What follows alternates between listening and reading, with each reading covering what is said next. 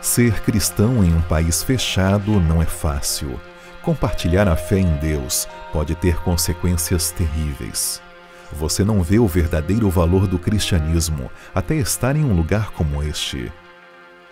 Quando todos são diferentes, você deve manter-se firme nas suas crenças. Saí do meu país porque recebi uma bolsa de estudos. Quando cheguei neste novo país, busquei uma família cristã como apoio, mas não havia nenhuma. Então, uns amigos me convidaram para uma reunião no sábado e nos encontramos em uma casa alugada por eles para reuniões de adoração a Deus. Lá me senti bem-vindo e em paz. Todos eram muito simpáticos. Comecei a aprender muitas lições novas da Bíblia. O sábado foi um tópico novo para mim e vi como é importante e duradoura a lei de Deus. Depois de estudar a Bíblia, decidi ser batizado.